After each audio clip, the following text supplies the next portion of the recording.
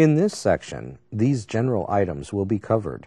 Tools, water hookup, drain requirements, electrical requirements, leveling, and location. Some basic tools will be required for installing any washer. There are a number of items to consider when determining the proper location for a front load washer. Access to hot and cold water faucets, drain, and a 120 volt polarized grounded outlet are required. The water heater should be set to deliver 120 degrees Fahrenheit water. The floor plays a very important role in front load washers. These washers are much heavier and spin at a faster rate than standard washers. The floor must be sturdy and solid. When the washer is loaded with clothing and water, it can weigh approximately 400 pounds.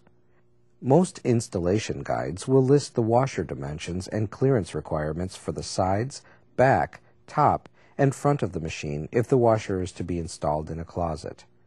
Do not operate the washer in temperatures below 32 degrees Fahrenheit or 0 degrees Celsius. Some water can remain in the washer and can cause damage in low temperatures. The drain hose may be pre-attached to the machine. It could be looped on the back or stored within the cabinet. The drain hose can be installed using the standpipe drain system, the laundry tub system, or the floor drain system.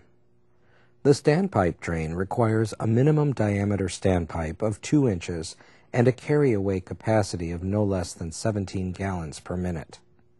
For this front load washer, the top of the standpipe must be at least 30 inches high and no higher than 96 inches from the bottom of the washer. No more than 8 inches of the drain hose should be extended into the pipe.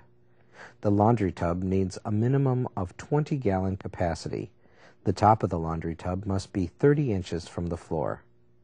If a floor drain system is used, a siphon break must be used. This must be installed even with the top of the machine. It is extremely important that all electrical requirements that are included in the installation manual be followed. A 120 volt AC polarized and grounded outlet should be used. It is recommended that this outlet be on a separate circuit breaker or time delay fuse. Some locations require a GFCI outlet if the outlet is close to water. GFCI is a ground fault circuit interrupter.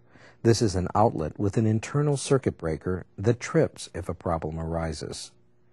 All washers are packaged to prevent damage during transportation. These shipping materials must be removed for the machine to operate correctly.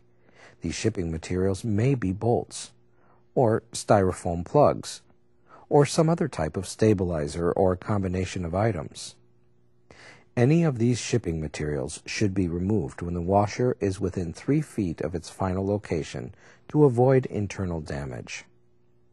New hoses come with most new machines. These new washer hoses may be color coded. The red hose should be connected to the hot water faucet and the H indicator on the back of the machine. The blue hose should be connected to the cold water faucet and the C indicator on the back of the machine. Generally, the process should be to hand tighten the hoses, then use pliers to tighten the couplings an additional two thirds turn. Do not over tighten to prevent damage to the plastic water valve on the machine. Turn on the water and check for leaks around the faucets and inlet hoses. It is very important that the drain hose be installed correctly to avoid water leakage and or floor damage.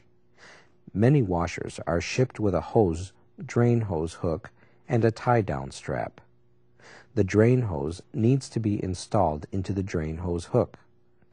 The hook should be placed into the standpipe. No more than 8 inches of drain hose should be extended into the drain pipe. To prevent the hose from coming out of the drain during pump out, a tie down strap should be used to secure the hose. Regardless of standpipe or laundry tub, the hose needs to be secured. Properly leveling the machine avoids excessive noise and vibration. Check the levelness of the machine by placing a level on the top edge of the washer, first side to side, then front to back. Make sure all four feet are stable and resting on the floor. After the washer is level, use an open-end wrench to turn the nuts on the feet tightly against the washer cabinet. All adjustable feet must be tightened. If the nuts are not tight against the washer cabinet, the washer may vibrate and move. Some washers may not have locking nuts and will just require the legs to be adjusted until level. The washer level should be checked once it is in its final location. To make sure the feet are properly adjusted, a quick spin test can be performed. Place a sheet of paper under each front leg. Create an unbalanced load by loading the washer with one heavy wet towel or one large item. Select spin, the fastest speed, and start the washer. Try to pull the paper from under the feet as the washer spins, during the slower speed, and as it ramps up. If either paper can be pulled out, the leg needs to be readjusted. On this washer, the right leg is coming off of the floor. Therefore, it needs to be adjusted down. If the paper cannot be pulled out, the legs are properly adjusted. It is recommended by the manufacturer to run one complete cycle without clothing on new washers. Use one half the normal amount of HE detergent and select the normal cycle. Allow the washer to complete the cycle and check for proper operation. This initial cycle ensures the interior is clean before washing clothes. The washer is now ready for use. Always refer to the owner's manual of the appliance for specific model information. The owner's manual will have information that covers installation, operation, safety, maintenance, and warranties.